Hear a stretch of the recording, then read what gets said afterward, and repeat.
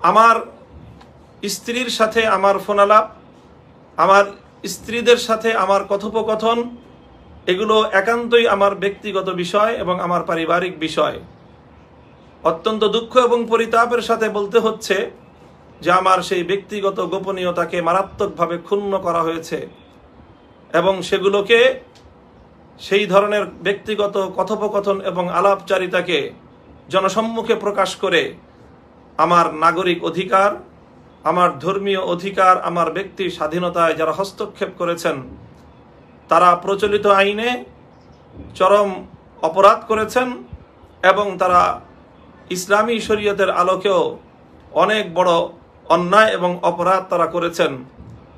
আমার ব্যক্তিগত এই সকল গোপনীয়তাগুলোকে লঙ্ঘন করা, ব্যক্তিগত গোপনীয় গোপনীয় এই সকল আলাপচারিতাগুলোকে জনসম্মুখে প্রকাশ করাটা, এটি আমি মনে করি মানবতা বিরোধী একটি অপরাধ। আমার এই মানবতার মানবাধিকারকে যারা লঙ্ঘন করেছেন, শুধু বাংলাদেশ নয়, জাতীয় নয়, আন্তর্জাতিক পর্যায়ের যারা মানবাধিকার কর্মী রয়েছেন, আমি তাদেরও সদয় দৃষ্টি আকর্ষণ করছি। বাংলাদেশে ব্যক্তিগত মানুষের স্বাধীনতা এবং তাদের অধিকার কতটা লঙ্ঘিত, আজকে আমার এই ঘটনা সেটিকে আবার নতুন করে দিবালোকের ন্যায় স্পষ্ট করে দিয়েছে।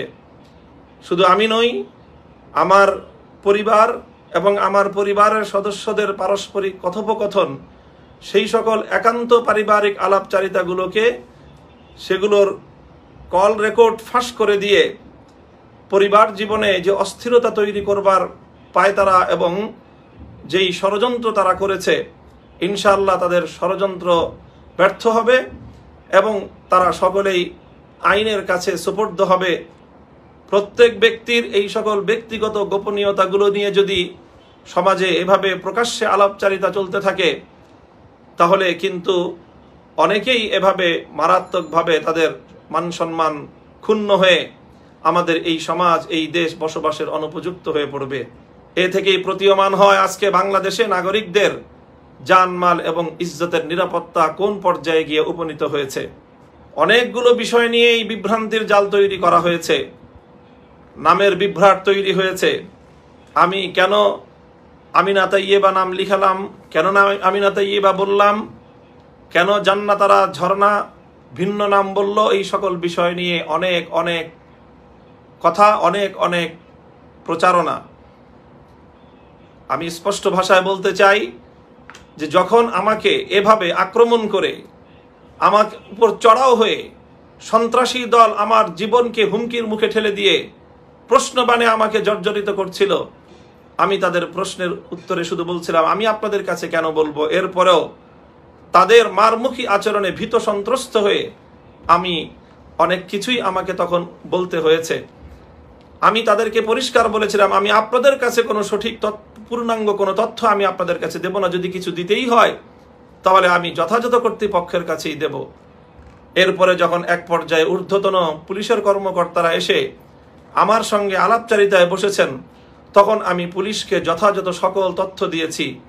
আমার প্রথম স্ত্রীর নাম কি সেটাও বলেছি, দ্বিতীয় স্ত্রীর নাম কি সেটাও বলেছি, এবং আমার প্রদত্ত আইডি কার্ডের তথ্যসূত্র ধরেই এবং আইন শৃঙ্খলা রক্ষাকারী বাহিনীর কাছে প্রদত্ত স্ত্রীর নাম থেকেই সেই ওখানে আমিনা তাইয়েবার নামটি আলোচনায় এসেছে এবং জান্নাতারা ঝর্নার কাছ থেকে যখন তারা আবার আমার অনুমতি ছাড়া তার স্টেটমেন্ট এবং তার যে বক্তব্য তারা ধারণ করেছে, সেটিও আমার বড় আরেকটি অভিযোগ, সেই বক্তব্য ধারণ করেছে আইন শৃঙ্খলা রক্ষাকারী বাহিনীর পুলিশ নারী কর্মকর্তাগণ।